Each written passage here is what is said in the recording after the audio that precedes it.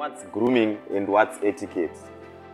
In grooming, we all agreed to say grooming concentrates on things like your hairstyle, your face, what you are putting, why needs a makeup, um, beard. What else I think I say about grooming? The things that have to do with you, the personal self, and the way your clothes are they fitting. Are you wearing oversized clothes and other things like that? That's grooming. Then on etiquette now, there is etiquette, general etiquette, then there is business etiquette. Those two things are different. General etiquette is just uh, has to do nema customary codes of uh, polite communication with other people. But when it comes now to business, it refers to now my requirements and expectations are set in your industry to say this is what as a business we want you to then follow and do. Now that's the package business etiquette. So maybe we should talk about things like why are these things important? This is where I want to see kuti imimi is individuals in an organization. Ah, munofungawo kuti zvinhu zvakakosherei kuti tinge tichiziva zvinhu zvakaita segrooming and etiquette i'll start maybe kana tawanda then from tawanda move to usually inini kana usina name tag now ka ndionotaura the most kufura vanhu vese patraining. As long as i don't see a name tag ndongoramba nchirifeya back kwauri svika ndabata zita nemusoro so uh, mr tawanda uh, why, why do you think uh, grooming and etiquette are important for us to learn as individuals in a business? I think it is better to to the to the guys and make business or make the business. Uh, se vari kumashure kwapiwai unogona kutaura zita rako since usina first usina memtake Donald, yeah.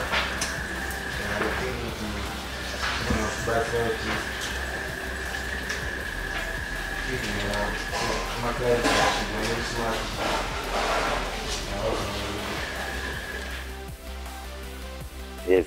Like mr jerry was saying kuti your cells they start as soon as munhu asvika pagedhi so iwewe if you are not dressed properly uri pagedhi that's gonna affect the cell of which piwai anenge aita basa rake wezvesure effort anenge aita se mameeting vaita se vaenda. And grooming and etiquette iyi vari kuiratidza pavari kuenda chi mameeting. But the moment inini handinosvika panapa iwill give you an example the first day i came here palegas and then iwill give you another example of today. Pandakasvika pagate i didn't notice kuti there was someone aripo pagate. I believe it was donald right ndasvika ndakapinda pagate handibva ndapfuurira ndisina kuona kuti pane munhu then donald bva andimisa achida kubvunza a few questions zvaanofanira kunge achibvunza nezvaanofanira kurekodha according to his job description. Auya kuzondibvunza donald akabvunza zvaakabvunza then i came inside bva ndapaka. Ndati ndikunareta story yangu then looking at grooming and etiquette i want you to acknowledge zvakaitwa zvanga zviri right and what you think zvaikwanisa kuitwa differently what could have been improved in this scenario? And zvakubatsirana ipapo. So i got in donald andimisa. Then he asked kuti ah i say hi iam good. How are you? Mabvawo kupi ndabvawo kuchi kumnj allright ah parking yedu yemavisitors ndiyo iyi pakai apa andi ah thank you thank you. Andapaka chi pandaifanira kupaka ndabuda mota ndapinda mureception eh, ndikaona judith and chris who else was there? Nageorge ndapinda hi guys hi guys ndiri kubvawo kumnj ndikuda kuonani tari ah you guys can take chi? Masiti tagara pasi. Tagara pasi takamirira tari these guys were having uh, their conversation about maschool fees and score or something like that. Hamena kuti pane ane mwana ari kuchikoro pakati pavo so that's the conversation they were having. Takagara takamirira tari. The meeting was supposed to start at uh, two. Yes that was almost takagara svika maybe around to tungoti eight past eight past two. Then initially but azonzi atara afuri chitaise chipinda iye actually tari pauya wazoti ah hi guys thank you for coming chichichi come through to the office. From that narration yandaiita looking at grooming and etiquette can you guys tell me from the start pandakatanga kusvika pagedhi walking in namirira. Anyone can just pick out somewhere pauri kufunga kuti there was good grooming and etiquette shown from the side of uh, legacy car rental ngasataura ini ndopika randomly eh, brian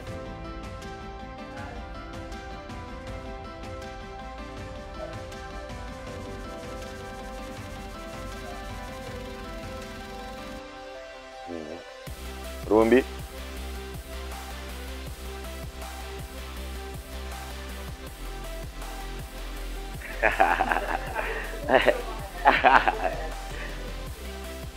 Yeah yeah yeah. Uh, my sister without a you can say your name first then you contribute Titi.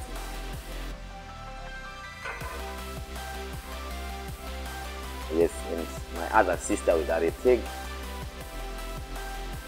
name first Liza. all right. Yes ma'am.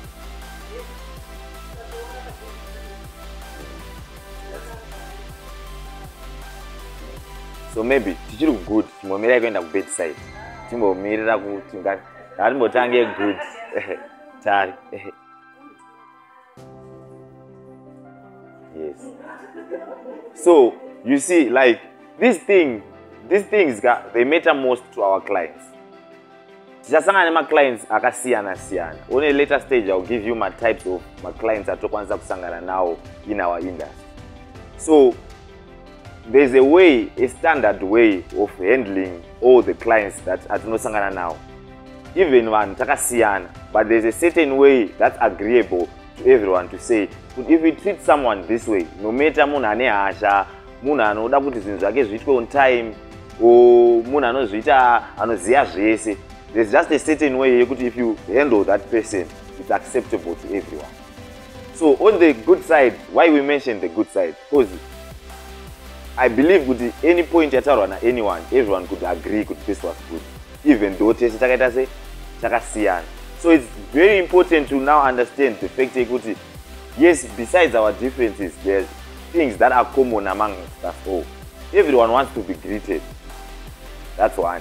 Kana uchiziva munhu number two munhu anoda kudedzwa nezita rake. If i know your name is city there's a certain way that i feel when ukandidedza uchinditi keep like that recognition yekuti ah munhu takamboonana last time. Zvakafanana nezvandaita kuti ah donald ndibva ndaremember judith. There's an effect even munhu usingazvizive at that point there's an effect yekuti ndatoidentifya kuti that day pandakauya ndakaonani ndakaona judith or it feels some type of way even akasingazvionechi on a normal side.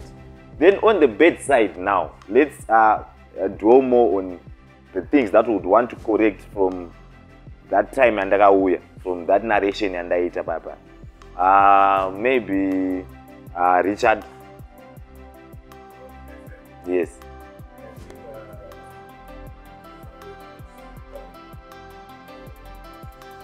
All right and uh, my sister in the bed its name Emmett, yeah.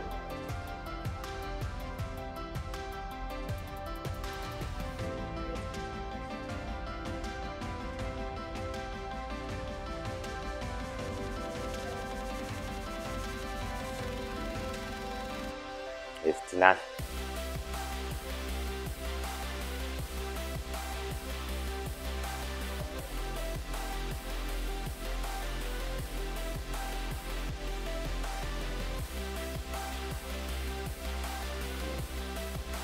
Tinashe. Alright, so on these things, what we are saying is, guys, our retard.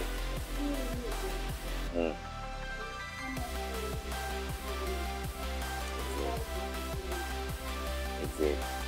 Time is very important kune maclients ekuti mukataurirana kuti 2 o'clock dzikasaita 2 o'clock anotobuda achienda even ukauya naye minute past anobuda achienda and that's business ateni tatoita se tatoluza so what are we trying isusu to do is we are trying to uh, make perfect use of every opportunity that we have to do business.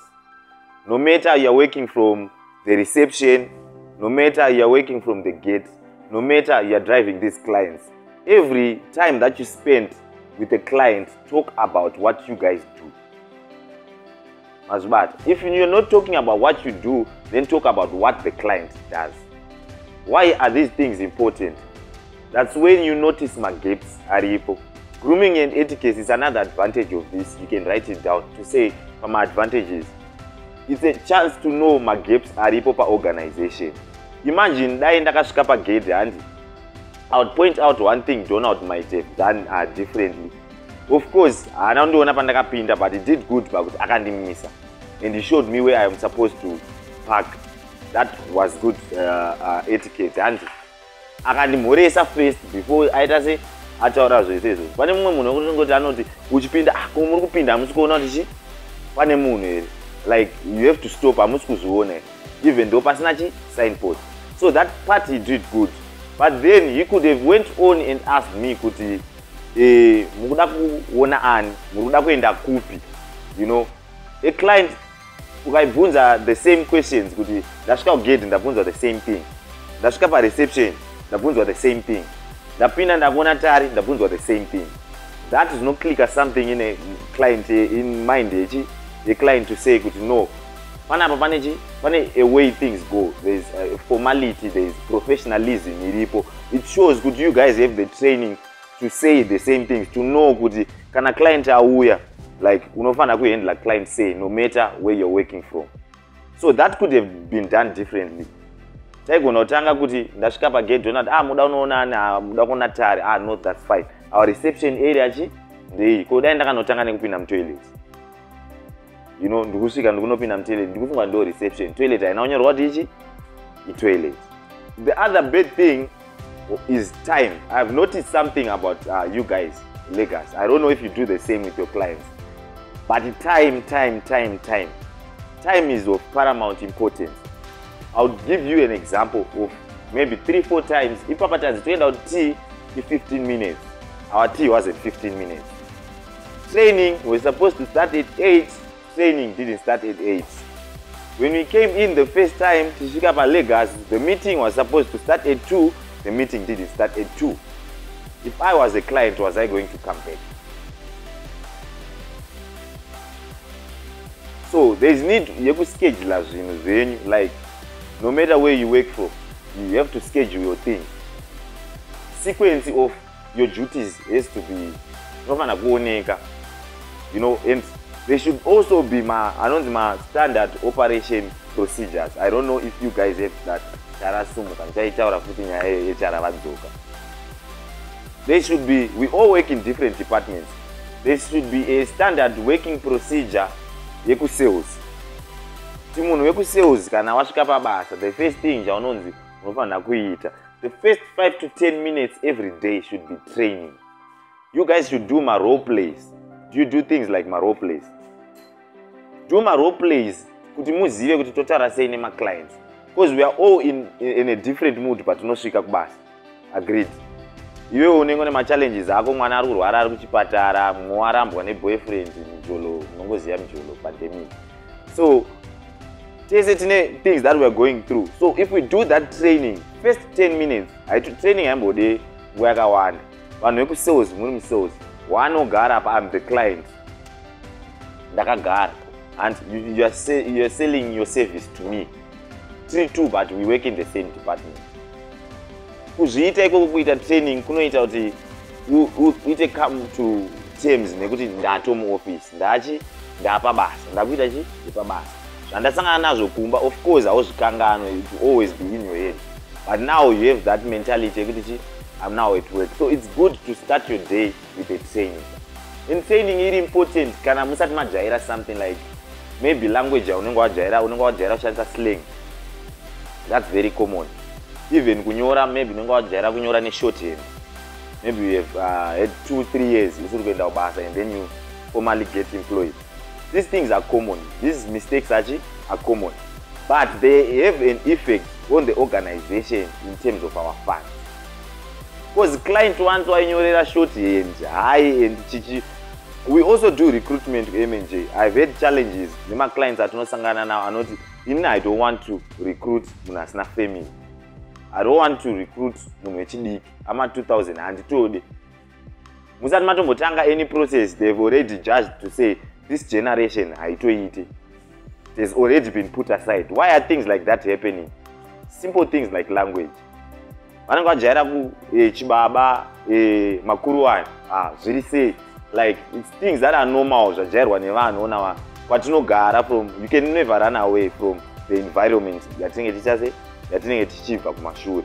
So these things are common. So now if you include things like tumadaily trainings tuma10 minutes makuseni uchisvika ndandichitaura team resales ani maita training what's the next thing to do? Check your emails.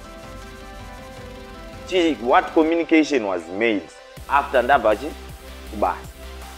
kubasa uh, what did people discuss when i wasn't there? And you check your emails and you respond. After that that's when now you greet your workmates. Ah guys what's our plan for today? And then mamutangachi the daily procedures why do we do these things? How would i feel if i'm a client? Yonopedza basa na5 indopedza basa na7 we've communicated we've had a meeting. Vandati ah, I, i need time to make my decision. Then i make my decision. Later on i sent you an email. Yeah, maybe past 5 iwanga waenda kumba. Wauya mangwana maita madaily routines enyu you didn't check my email. Then you respond to my email na12 masikati already that gap tinenge tatopa client room to look for someone else to provide the service. So as, as, as individuals in, in an organization especially in an industry yatiri we should one think ahead of everyone else. Pane pekuti client yega inosvika pakutaura kuti haa vanhu kulegazi munonetsa. Kana makuda fola urungofona nje uyafona uyafona uyafona hakusi kunetsa guys. Those things work chinhu chaunokwanisa kutaura iwewo chinhu chaunoita a daily basis a thing that are close to you on your fingertip zvauri kuona on a daily basis. Kangani kekuti maybe for vaya vane vana uri mubedroom mako unozoona wakuimba inonzi chino cartoon yaya where are you? Here i am uri absent minded its because its things zviri kucontinua zvichiita se zviunzwa on your face on your face. Mwana ari kuchemera kuti chinjai channel chinjai channel that's what i want to see. So at the end of the day as long as client inongori brain make mungori nelegacy legacy legacy legacy ah, nekulegacy hakuna inonzi bad publicity. There is nothing called bad publicity. Whether ari kucomplaina kuti mazonyanyofona as long muri magood books neclient that publicity is good. I would like to command you guys for today because you guys look good today. I don't know is this the way you guys dress every day? Then you guys dress good that's very good. So basically ndo grooming and etiquette yatinenge tichitaura nezvayo nhasi so there's uh, you need to understand your industry's dressing. And like i say iwill command you guys for the dressing yamakaita nhasi it's perfectly for, for your industry.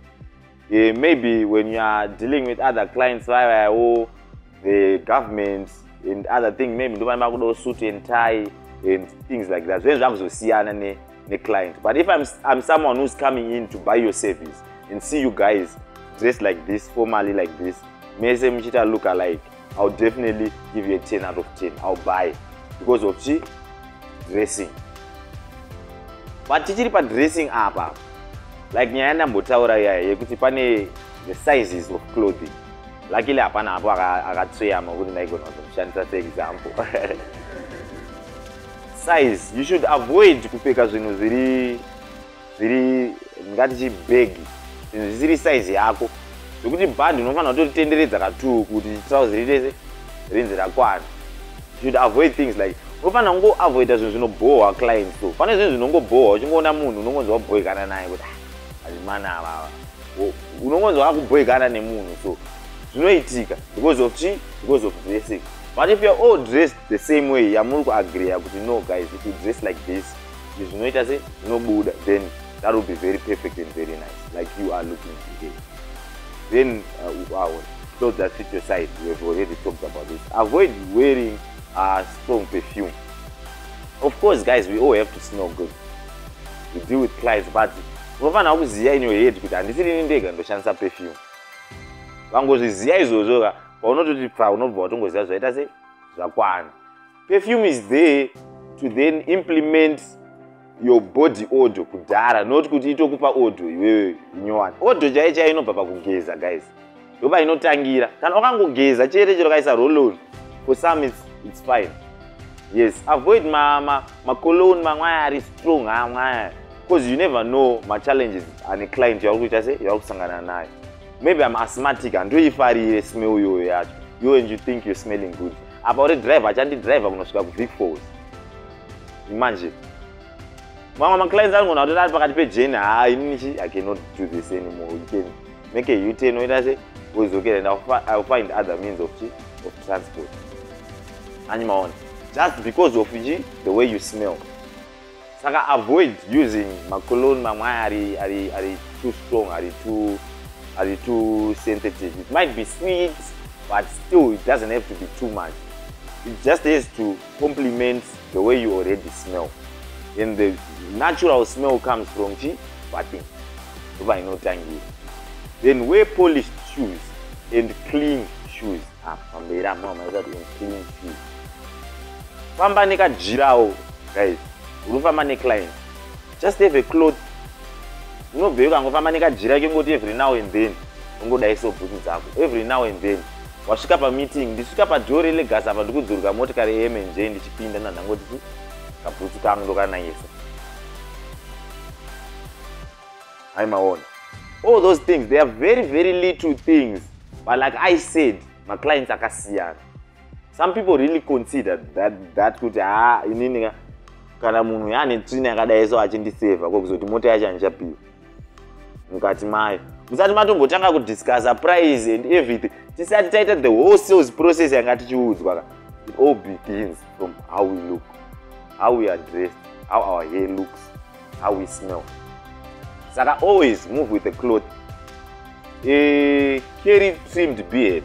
Hazvirambidzwe kuita mupostori vana madzibaba variko kaita but ndebvuka hadzizofanira kuti dzimwe dzakadai so dzimwe dzakadai so anonzichika mukakatuni pane kakatuni kataiona kemunhu aiti akarohwa nemagetsi so bvudzi raibva rati hazvifanira kuzoti ndo zvakaita chi? Ndo zvakaita ndebvu just trim hazvirambidzwe have your long beard but if its trimmed and nice zvakanyatsoenzanawo. Zvinongooneka kuti this person is smart. Let's be very honest. Munhu ari smart guys hautombode kutumwa kuti uone kuti munhu ari smart. You definitely see when someone is smart. Avoid wearing neon and flashy color attires i believe you guys have my, my corporate colors in as an organization. Handione pane problem yangu hr kuti on a weekly basis even if people are not wearing uniform they should just continue wearing your corporate color. It gives you as an organization identification ndopedza ndatojaira ndikaona munhu akapfeka akapfeka blue neblack ati hasi munhu wechi? Wekulegacy because that continuity inenge irichi inenge iripo. Ofcourse unogona usina uniform inokwana kupfeka the whole week but there has to be that continuity in the way you guys dress. Kwete kuti nhasi wauya wakarwa majava tangaita kwena unororana aiwa should stick to macorporate colors edu. And they are just general colors. Maybe i, I want you guys to ndoda kuona kuti you understand macorporate colors what are, are, are, are general corporate colors that we have in zimbabwe? Anyone? Can raise your hand ndione ndianataura white. Black. Blue. Ah, ah. green? No no? As far as my colors are flake, guys. Don't get me wrong. Pane macolors eorganization then pane macorporate colors. Anonzi ayaya asingakwadze maziso ndikakutarisa asiri harmful to maanimals like mukatozigugula zvinotonyorwa kuti kana tichi they are normal across ndingatichi maindustries ese nokuti even ukaenda kutourism ukapfeka that color you won't have any problem. Not bright colors just dull colors. Color yamasiya its grey. Amaona allright alright alright. chris. Exactly. Chako any other colors? Sama mabata ka guys. So if you just make it a formality kuti if i'm a guy i wear either a navy blue suit a black suit grey suit ndichienda kubasa zvatopera hana green ava mm. imagine ndakapfeka suit yegreen guys. Hazvizobuda andi we agree on that and so these are some of the macolors panyaya yemacolors kana muchiconsider chi? Macolors then panyaya yemazino guys. We deal with clients on a daily basis ndisabude mumba munhu usina kukwesha mazino. Thats a total no. Imagine kuti une information yaunoziva yakawanda iri youare best sales person but you don't know. It's very difficult guys kuudza munhu kuti yesmele zvinotaurika here guys. This is the most difficult thing to tell someone even kuti munhu waziya chairo chairo it's very very difficult. Saka musaomesere hr guys. Musaomesere hr please because it's sort of offending kuti ndikuudze zvinhu zvakadaro so these are some of the things zvaunofanira kungoziva semunhu kuti and chimwe chinji problem yemukanwa manje haunhuwire muridzi wavo ma. Iyo kana uri kunhwa mukanwa haumbofa wakazvinzwa kuti ndindi kunhwa mukanwa panapa hai maona saka just twice a day uchibva wemakiseni uchienda kubasa. Manheruo uchisvita se usvika kumba. Bcause i believe nyaya iyi haisi yekuti bcause even if youare out there guys anti you know kuti all represent legacy after working hours saka kwatiri kutoti yonzi uri kunhwa mukanwa futi after working hours ka. Zviri kutoafecta chi image yedu isusu as an organization. Saka that corporate responsibility is something that you always have to have as an individual. Then use of accessories kana totaura nyaya yeuse of accessories things like mawatch manecklaces maearrings. There are also maearrings ma, ma asingazoitiwo guys. I mean ngatibatsirane. You should have something that's small. Ndochinje kutanga manyaya yeaccessory size handingae ndine ziwachi rakadai soka rakazadza ruoko rwese. Zvokuti kana peni chai chai handizogoni kubata peni kuti ndinyore maminutes meeting ndiri munhu waadministrate unozoite ai maona hazvizobude. Saka maaccessories aya ka it hasn't to be something that's eye catching something chinodistracta you know ndauya ndikuita meeting neclient ndakapfeka wachi rangu aya aipfekwa nanalil wayne mamwaya machi aitenderera anenge achiglowa glowa aya. The moment you walk in now client instead of concentrating on the information you are giving them about your service auconcentrate on chi? On your bling bling. Saka hazvizoite se hazvizo that benefit. Why do we say all these things? Imagine kuti let's say guys you are losing one client for every aspect yeprofessional grooming yausina how many clients would you have lost in each and every individual in our sales team? For now tine vanhu 500 vesales team. Apa tanyora zvinhu zvingana 1 2 3 4 5 6 7 8 8 by 5 how many clients hatinenge tarasikirwa now? Because of these small things hai maona and 40 clients per day one day. So everything everything no matter how small is important for us to to look at. Then from there we'll move to my aspect of uh, of etiquette. Are things like uh, greeting on this one. Maybe let's uh, let me pick two people uh, uh, randomly um, I'll take uh, Titi and maybe Donald. Please come, come to the front, guys.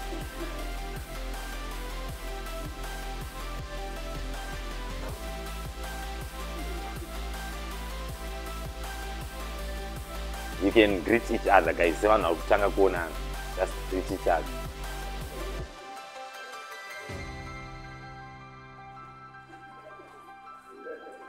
one hazvisi kunzwika two toda like proper proper greeting chai chai. Yeah toona kuti how do you guys greet each other?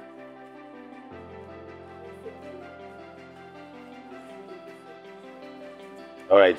Was this good guys?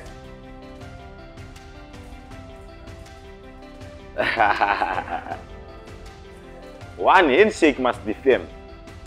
Kana tikumhoresana ka. Lets hand mukomana anyikona pane ruoko rwangu for the boys. It's a sign of respect. Eye contact and firm handshake. That's how you greet. That's a proper greeting. One already inenge yatondiradza how confident you are as a person. But ndikati ah, already there's no you know that spark. You guys deal with clients. So mupfungwa menyu guys you should always have that chinji noclick out client client always tell yourself kuti chi client always. Pauri pese client because these are the people that bring us the money that we are here for. So when youare shaking maybe ndasvika pagate ndarasikawo maybe ndikutobvunza imagine you're at the gate someone is lost asvika ani ah aise ah ndafirwo nemota yangu panapa ndangoona pakanzi kaka panogadzirwa chi mota here and then youare like ah how are you say ah you've come to the right place. Panapa paitese hapagadzirwe mota but if you can panapa tunoita zvakati zvakati zvakati. And you're shaking this person's hand zviri family. Is that different now from me? Ndauya. I'm a passer by i'm lost. Ah ndaonawo panapa pakanzi ka chipi munoitewo mota yangu yafira apa apa munogadzirawo mota izvi and then ndona says ah panapa hatigadzire hatigadzire mota. Its only a car rental already that connection you could even offer that person to say ah say i understand mafirwa nei nemota but panapa torentesa mota. As you look for maybe you have a meeting yamanonoka kwairi chi come and hire a car here and then we make a plan for mota yenyu yaita se yafira parod there's already chi a difference. Thank you guys. So all those things they might seem very small but very important then there is uh, use of full names. What are we saying for the use of full names uh? anyone maybe try and highlight to others what's the importance of uh, using full names. For someone you know obviously. Anyone wants to try? All right i'll give you this one. But this is the last part yandichataura ndiri ndega. Bcause kwese vanhu vafamba tichitaura chese. Bcause vamwe ndavatoona autoconcentrata nemaspeech kupfuura kunipa response kuno. So pause of full names if i know your name you shouldn't assume kuti munhu wese anofarira zvaunofarira and like mr jerry vataura kuti inini im comfortable kudedzwa chitichi jerry. But for someone like me for my boss to then call him jerry zvinondiremera personally as an individual.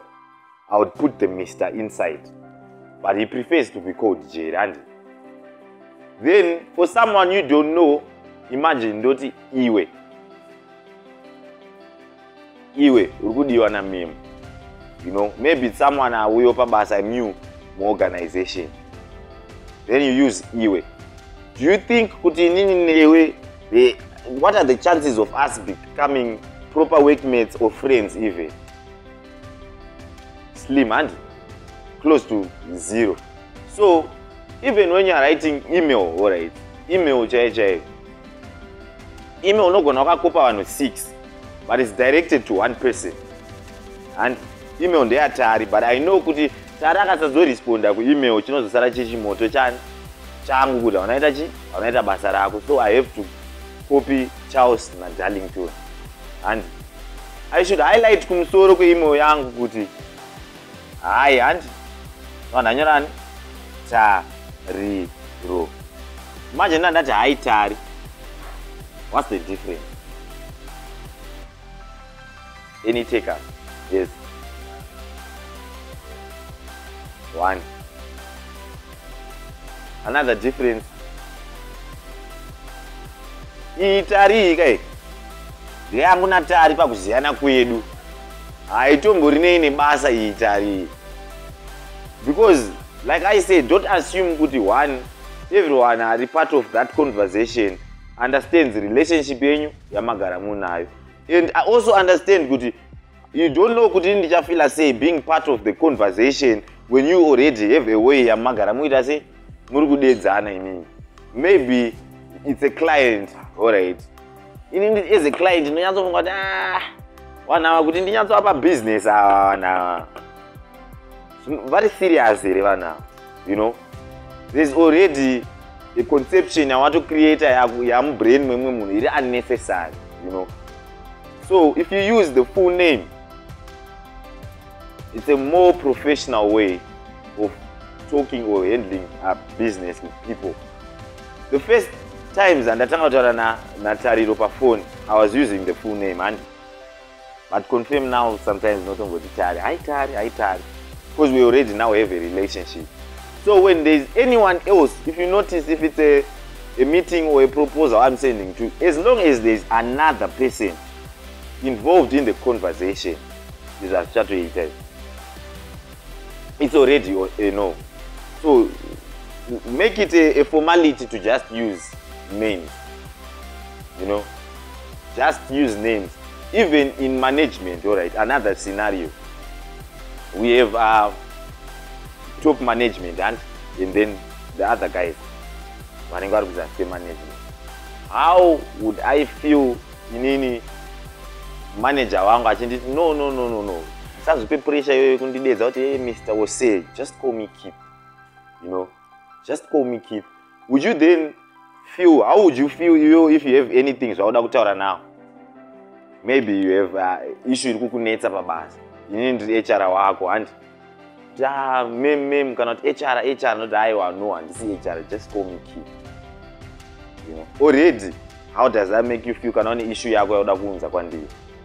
I've created room for proper communication to say you know I, i'm just someone like you doesn't have to have a title you know sometimes my titles also ana mr mrs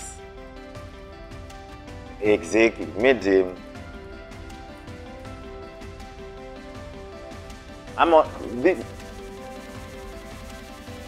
one maybe inini I'm, I'm, I'm your client. I, i'm a potential client to you guys. But ini handifariri zvekunzi madam kwandinenge nditori vandoziva kuti haini zvekunzi madam ka? Because kamedam zvine kakuita ngokudedzwa nahosgirl kumba kwako. Aimaona zvine kamukakusa hazvinyatso aimaona so already ndine zvakaita kuti ndivenge this thing zvekunzi chi madam hakuna munhu anombofa akavenga zita rake gai your name is your name. Hakuna munhu anoti inini handifarire kuti ndonzi kiki. Pamwe handiofarire kunzi kiki because kanditi kiki ka wautondida musikana anyoona ndakutofila kunge chi riri musikana saka the use of general just use someone's name. Kana uchingoziva munhu use their name. So as an organization you should also make an effort kuziva each and everyone's name. You guys like i heard kuti panapa pana mainstances ekuti mumwe aenda kwauya vanhu vanyowane stuff. So i believe you already know each other. So when you are alone then it's, it's okay. Kuti uh, piwai ongonzi piwi o amen rumbidzai otiwo rumbi maybe that's comfortable for you guys in your own setting. Ill come back to that day yanga tiri pareception nana judith know, sorry ago charles. Charles could call judith judy and that's how they call each other. And imagine maybe judy. Haisi shortcut there, Judy. maybe shortcut there, hey, some other name. Handi then inini i assume kuti judy uyo ari kutaura zvikureva kuti chi ino handaenda kuna judy ndinomuti chi judas. How then is she going to react to that or feel in regards to chi the way i called her name? So it's just uh, just good to formalize the way you call someone's name. Um, from there shake hands appropriately. I, I believe I, i demonstrated how you do it. Your hand your other hand iri kumhoresa munhu in the eye contact. Already there is a certain une zvaunenge wati unenge watotaura zvakawanda usati wataura guys. You know ini ndichitanga vasangana newe ka nacharles anenge atotaura zvakawanda one mapfekero aakaita everything ichiri apapa hapana munhu chaanenge ataura anenge asati avhura muromo but already i protect an image. Take care of your outfit. Takini inombosvotoka sometimes. Pamea panga tichitaura kuti unenge une kajira kako kebhoots kaunenge uchipukutisa chi bhoots pauchadai so uchipukutisa bhoots takini aita se yasvotoka so you should normalize to just check yourself. Kuzvida guys ukasazvida iwe unozodiwa nani? Hatisi kureva kuzvida kwekuzovharira maclients ari kuya nemari kungozvida oyo as an individual to just say ah, ndikunyatsooluka sei sazi rangu go takini yangu how do i look? Just generally you should just be able to take care of yourself. These are things zvekuti it's not out loud hazvitaure mashoko but clients see these things they see then politeness. Politeness inonetsa guys. Inonetsa. Ini ndendajaira matambiro angu napiwaya nee ndichiita. Tiri mureception area medu musi kudiwa nachris kuti ndirambe ndichitaura nezvavo but now thereis someone else involved. I always believe kuti politeness for it to be effective include everyone in the conversation. Ari around you might be polite muchitaura nacharles tari aripo. As long tari is not part of that conversation but she is present politeness yacho is very difficult for her to confirm kuti these people are polite. Because tese tine zvatinenge tichitaura in our heads wherever we are. So we should always try to be to be polite. How, how, how, how, what are some of the characteristics of someone who's polite guys? Uh, next to pasmo it's tedious. Yes.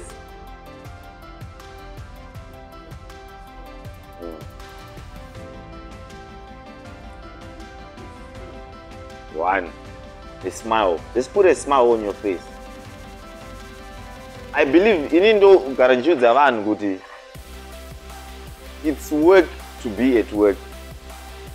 Even usina juti rawatanga kuita uchingopinda pagedhe apa hauna maybe hauna aspecific duty iri pajob description rako raunonzi ita musiwo but already uri kutoshanda would you believe that guy macuse ako your dressing and everything its already work to check on yourself kuti bhutsu dzangu dzakachena here takini yangu ichiripo here? Am i smiling? Always sometimes unenge watobva kunhamo three days ago. But uri kusmile that's already working handi tikubvumirana ipapani so politeness like uh, teddy has said you should always keep a smile on your face. Izvezvi zvika pane vanhu vakutondivhundutsira kuti hai nishamari usatombotaurako zita rangu. Kuti ndipe contribution nefesi chete. Yes body language guys body language. Ndo panga tichitaura kuti magariro aya akaitwa nachristopher aya.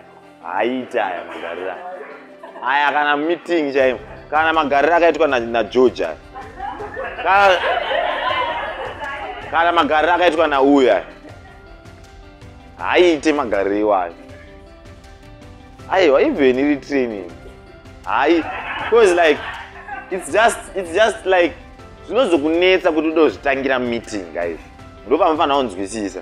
Zvinozokunetsa kuzvitangira paunofanira kunge uchizviita. These things ndopana chitaura nyaya yetraining yaya practice these things. Kana ndakagara ndakadai guys imagine ndiri kuitai training maybe ndikuita training ndakagara ndakadai so.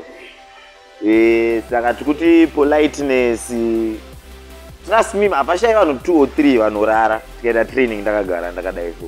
Tobatwa nehope chaiko kutokotsira munhu tiri pakati petraining then waya magariro aya kaya. Ha aya ndo magariro ebhora raya ranga chimbotaurwa retv yemudenga.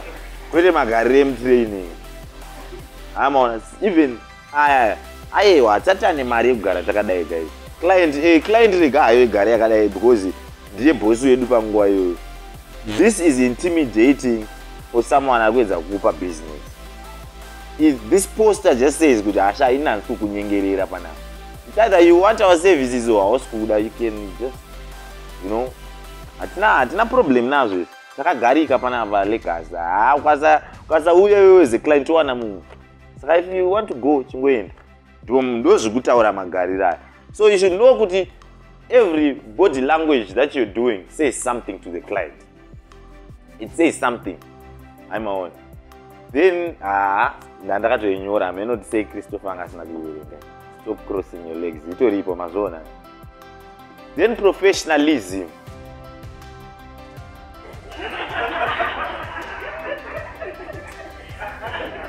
Yes.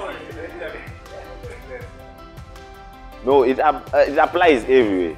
Maybe social yes you can cross your legs. But as long like i said guys you're already working even if you don't have work as long as you are at work you are working. Because zvinhu zvaunenge usina kujaira kuita everyday ndo zvandataura kuti practice makes special. Saka ukangojairira kungoziva kuti aiwa inini ndogara ndakadai so. Just like george ari kushandisa hake foni yake ipakati petreni its also communicating something kwandiri inini tichasvika edu kana taakumanindikino kuma-etiquettes kuemail telephone meeting right will also mention that. And imagine inini i'm a client.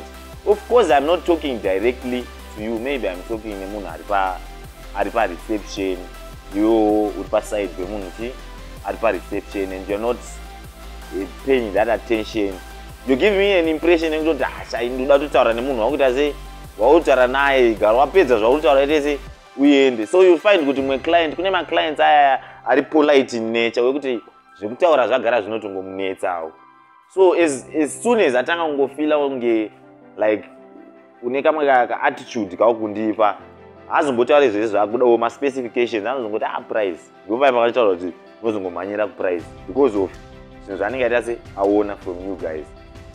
So coming on the part of professionalism now who can just sum up professionalism for us? In a few words anyone wants to try. Easy can you just try professionalism. What you your own understanding of professionalism?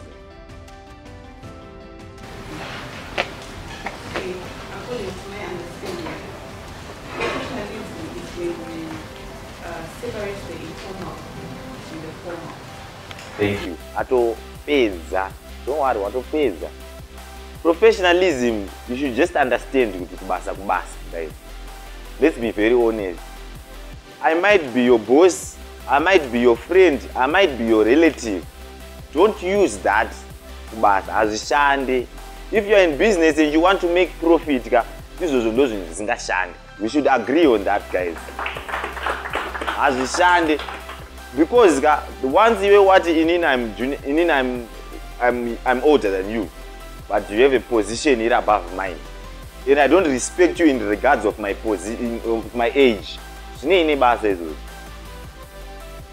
I'm where I am because of what I do and how I work. And yes, I'm rewarded according kune zvandinogona inini.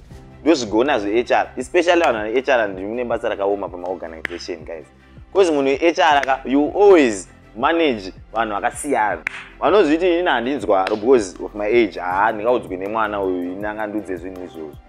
Aimaona that mentality guys you should lose it completely like i believe hr you should write masop ma anospecifya zvinhu izvi mapolicies to, to say kuti hazvirambidzwe kambani kuita inonzi relationship policy. Hancho ino yes of marelationships kuti musazvinetse nekutaura guys ka bepa ngaringe rinotaura for you guys use your papers. Agree on these things as an organization kana pane committewo inenge ichimirira maemployees moagreea kuti guys isusu taona kuti panaa pachallenge yedu ndeemarelationships ekuti aiwa uya kuzozviita ini ndiri mhombe kana kuti shamwari yangu kana kuti uyi hama yangu. Create a relationship policy. Everyone osainira hazvizombokunetse iwewe semunhu hraka even ndiri shamwari yako nonozoti achaona uri shamwari yangu. But una bepa iri rawakasaina iri timu wekambani kuti chii? Ende kwensekwensi yacho iripo kana waita behavior iyi ndeiyi zvatopera chero akada kuzokuvenga akunguvengera mahara. Because bepa anenge akaita se akasaina ega munhu. Kuti aiwa ndabvuma zvishuwa kuti ndo mutemo wechi weorganization. So professionalism guys siyai marelationships outside the gate. The only relationship we have here is legacy chete ndo relationship one inoshanda paorganization iyoyo. Fesales inini ndiri kuadmin?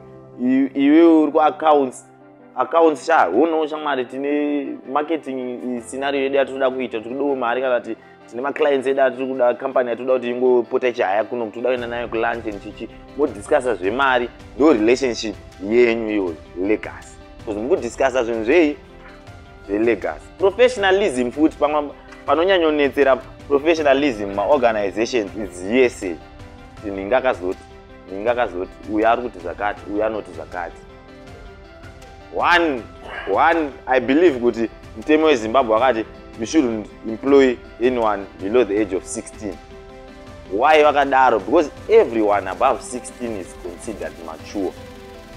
So if i tell you something in confidence kuti atarisa mwari ona inini haa ndechallenge yangu yandi kusangana nayo yakati neyakati yekumba kwedu. Tari uendo unoudzawo christopher ah christopher haa kiti challenge yakusangana nayo ihombe hasi andamboinzwa challenge iyoyo ubva anowedzirawo two ake machallenge pamusoro pe1 challenge yangu painozosvika kuna florence nendane 9 machallenge. Already we have misplaced our professionalism. Even client painozosvika paorganization pedu client iri kudawo zvairi kuda auya asvikirawo kune the wrong hands. Kana tiri the wrong hands the wrong department munhu but inini nemunhu ndikuziva kuti a munhu ndezvandakambomuudza about myself. I told this person something that's personal to me and they went and told someone else. Do you think kuti ndichanyatsodirecta client iyoyo kune munhu? Iye i would find a way to show client kuti munhu wari kutsvaga yeye haaite ehe haimaona already its now affecting the only relationship we should have which is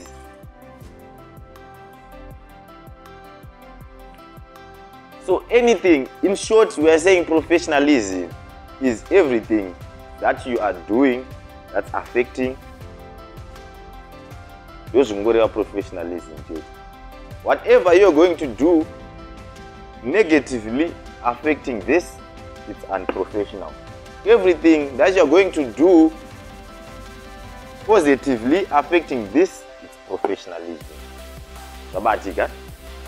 Simple like that. So hr mapolicies vatichaito review yetraining yedu. Ngapave pane mapolicies even if you want us to take up the duty to make everyone sign. Mumwese ari kusainira zvadzidza chi patraining vari kubvumira nazvo kuti ah no we learnt this from training we learnt that we learnt that. So that you don't have a challenge to now penalize someone if they consistently keep not doing these things effectively. Because at the end of the day it's affecting mafunds ari kuuya kupi which is the only relation. So from this we'll move to why are we saying this is important? Business etiquette. What do we gain from it, guys? From knowing these things, three tools. What benefit does it have to us? And if I'm saying us, I'm saying as as Legas. Yes.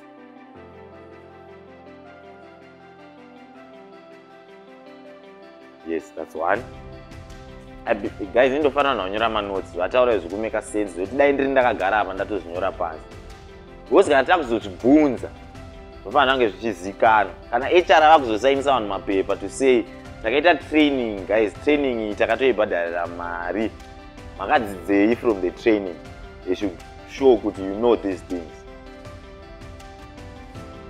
Yes why else do you feel guys this is important for us to to learn business etiquette and grooming. Yes, Richard. Exactly. zvachitaurwa nemupick and pay that was a very good example pandakagara pana ndichiona kuti hazi mr jerry panamba vakuda kutotaura kazvinhu zvandikuda kutaura ndichazotaurei that was a very good example thereis professionalism and formality iri mupick and pay guys we can never find it in any other retail in zimbabwe they do the same ukaona munhu anomopa weyaka chero ukaenda mangwana pane mumwe munhu ari pashift iri kuuya mangwana they do the same thing. Zoti kana vasingazive face notongoti uyu munhu wani. Even vanhu vari patiu no matter kuti watenga kangani akukuziva sei they will greet you the same way. Hambofa akaratidza kuti auyu ndomuziva sereku iwe unogona kutorwadziwa kuti but uyu munhu ihama yangu zvirikutodaro kana uyu musikana wangu chai chai. Pada kundimhoresounge am just a, a general person. Because ari kuziva kuti professionalism and everything grooming and etiquette akaibata irimo part of zviri blood make chaimo chaimo then eh, apa you can apa zvakawanda guys. Munhu anogona kutotaura yake one one ka zvichitosara zvima why is it important for us kuti tidzidze these two things? Because if we all don't know why we should learn these things then it's actually pointless to actually learn these things maybe ndotopanga tifanira kutotangira kuti why zvinhu zviri important for us to learn. Anyone wants to try there's no wrong answer guys in training. Ndosaka akapiwa zidai kuti training florence. Exactly. Culture guys. You would find after all this tichaenda patinoita kutaura nekuti what is your culture? You know? What is your culture? Tikakumisa tiari ari apa apa florence ari apa are you going to say the same thing? Zvinotangira apa apa guys. Because if you know these things ka i believe kuti every rule and law mutemo yese inogovhena organization ka as long if people have grooming and etiquette then it's actually pointless to have these laws. Togona kutoita company isina mutemo ine grooming and etiquette and that company will be very successful. Apapa zvinotipa competitive age guys because tenitanika makaformality katinako so it shows kuti vanhu ava the way they do things it's formal one two it's in the same direction. Kwete kuti ndabvunza florence about maybe maprizes anozati anoita zvemaprizes ndirumbi. Anyoona ko rumbi haa maprizes haa maprizes akasiyana for each mot you know. Ko tari maprizes ndiura manyingopiwa chi different answer everywhere because people they are not moving in the same direction. They are not a team in one organization. And why? Because the way they've been groomed and the way their etiquettes have been informed to them is just not formal you know. Because zvinhu kana zvichiincluda professionalism already. If you know what's professionalism if you understood what surgery said about sales then everyone should be have information of each and every organization uh, inonzi chi uh, department in the organization handifanira kubvunza tari zvinhu zvekuaccounts akasaziziva. Handifanira kubvunza darlington zvinhu zvekuhr akasaziziva. That means kuti tari hazitogona basa rake. Because zvinotangira pakuti iwewo as an hr person kana uda kuti usaite machallenges paorganization vanhu ngavazive zvinhu zvese. Things should, shouldn't be hide. Hapana chinofanira kumbovanzi i don't think budget chai budget munofanira kutoisa board apa moita budget board iri panapa. Guys iyi ndo mari yatakaita iyi last year. Iyi imimi kana mukutaura kuti masalaries muda kuwedzerwa masalaries ka. Ngatitei breakdown yemari imi unoti panosara mari. And everyone would have now an understanding to say kuti haazoshiwa mana toda kuwedzerwa mari apa mari yekuwedzerwa yacho hapana. So if these guys don't know so if these guys don't know now imhosva yani? Kana vasikuziva hr imhosva yani haimazvibata even zvakataura nasejeri kuti client ngaiziviswe kuti mota inoshanda sei jega riri papi chichichichi munhu wese anofanira kuzviziva i believe pamufanira kutoita employment yenyu panapa your core services cars